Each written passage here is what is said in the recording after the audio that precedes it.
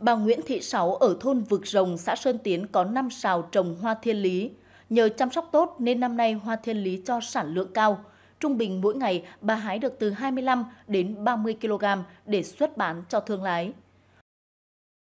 Trước khi à, tới trung sản tiền ngô để à, chăn nuôi, phục vụ chăn nuôi.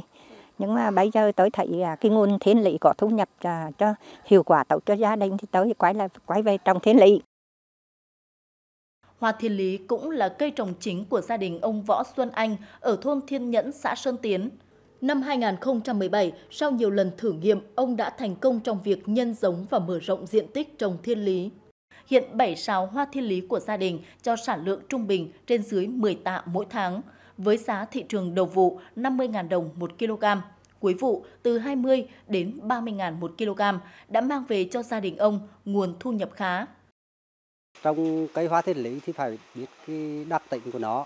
Đặc biệt cái hoa thiên lý là một cái dễ trồng, ưa nhiệt độ cao, nhưng mà cần ánh sáng dài ngày là rất là dài, đồng thời là phải cái nền đất là phải thoát nước tốt.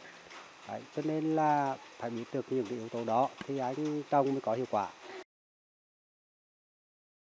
Thực hiện chủ trương chuyển đổi cơ cấu cây trồng, người dân xã Sơn Tiến đã mạnh dạn cải tạo lại vườn đồi, thay thế những cây trồng kém hiệu quả để mở rộng diện tích trồng hoa thiên lý. Thị trường tiêu thụ của hoa thiên lý được mở rộng ra các tỉnh phía Bắc, thu hái đến đâu, thương lái thu mua đến đó. Hiện trên địa bàn xã có hơn 200 hộ dân trồng với diện tích hơn 10 ha, tập trung chủ yếu ở các thôn Vực Rồng, Thiên Nhẫn, Ao Tròn. Hiện nay ở trên địa bàn Sơn Tiến thì cái cây hoa lý là một trong những cái cây cái mô hình là phát triển và có cái mô là kinh tế rất cao. Hiện nay là à, các cái hồ dân xã Sơn Tiến đang à, thí đua để rồi phát triển cái mô hình này. Xã đã có nhiều lần mời cái trung tâm ứng dụng khoa học à, kỹ thuật vật nuôi của huyện, của tỉnh về để rồi phối hợp với các hộ dân, giúp đỡ các hộ dân để rồi trong cái vấn đề chăm sóc phòng trừ sâu bệnh để phát triển cái cây này và cùng đến thời buổi khẳng định rằng là cái cây hoa lý là một trong những cây là có thể phát triển kinh tế chủ lực của xã. Hoa thiên lý có đặc tính dễ trồng, chi phí đầu tư thấp, thời gian thu hoạch kéo dài từ 4 đến 5 tháng.